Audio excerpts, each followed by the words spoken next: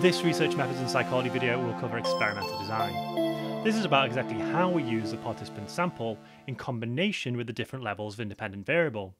The researcher has choices in how they set up the experiment, but of course there are positives and negatives to each design. Psychboost.com, over 170 videos to help you with your qualification, and Patreon supporters can access bonus resources, tutorial videos, and the Discord channel. I'm going to cover two experimental designs first, and they are fairly simple to understand. We can either get all participants to complete both conditions of the experiment, and that's a repeated measures design, or we can randomly split the sample into two groups and get one group to complete condition A and the other group condition B, and that's an independent groups design. Independent groups design. As the name suggests, the groups are independent of each other, different sets of people in each condition. All of the data collected from the group completing condition 1 is compared with all of the data from the group completing condition 2. The data we collect is called unrelated data. Now, a problem you might be able to spot with this experimental design is, because the groups are not the same people, any change we measure may not be due to the change in independent variable but due to participant variables, characteristics of the people taking part in each condition. For example, if your study was on temperature and reaction times, if in the random allocation to groups more young people were randomly assigned to one of the conditions, this could influence the results, maybe showing a difference between conditions that isn't really there. Repeated measures design. So, an alternative is to get all the participants to complete both conditions. Easy to remember its name as each participant has to repeat the experiment under each condition. So the researcher is comparing each participant's score in condition A with their score in condition B. Because of this, the data the researchers collected is called related data. Each data point in one condition has a related data point in the other condition. That's going to be important to remember later on when we get to the statistical testing video. Well, that's great. Now we're comparing participants' score to their own score in the other condition. There's no possibility that participant variables are responsible for measuring a difference between the conditions. But we now have a new problem. If the participants complete both conditions, there might be order effects. People may improve in the second condition because of practice, or they might get worse in the second condition because they're bored or tired. We can try to control for order effects by counterbalancing. That's getting half the participants to do condition A, then B, and the other half B then A. This will then balance the influence of the order effects across the two conditions.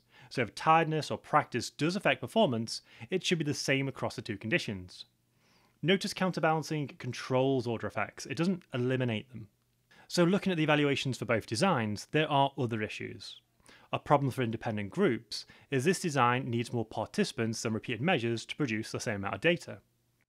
Another problem in repeated measures is because participants complete two conditions, they're more likely to work out the aims of the experiment and change their behaviour to please the researcher, and this is known as demand characteristics.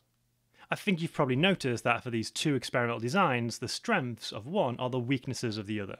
But there is another design, one that attempts to fix the problem with both participant variables in the independent groups design and order effects in the repeated measures design. Matched pairs design. In a matched pair design, two separate groups of participants are used, one for each condition. But the researcher decides on a characteristic that might influence the result. So, depending on the study, it might be IQ, age, or something like aggression levels. This is measured before the study begins. We can rank our participants. We would then randomly assign the highest scoring two participants to separate conditions of the experiment, and then do the same for the next two and continue until all the participants are assigned. And then we have two groups that are balanced for that characteristic. The results for each pair in each condition are compared in the same way as repeated measures design, so we do treat the data again as related data. And as the participants are similar to each other, we've reduced the effect of participant variables. And as each participant only takes part in one condition, we've also removed order effects. But there are disadvantages. It takes longer to set up a matched pairs design, and we need more participants for the same amount of data compared to repeated measures.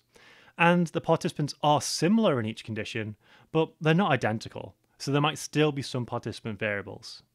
So that was experimental design. I have six tutorial videos covering the 2017, 18, and 19 AS and A level research method sections.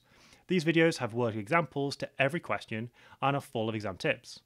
Patrons at the neuron level and above can access these and many, many more hours of exam tutorial videos.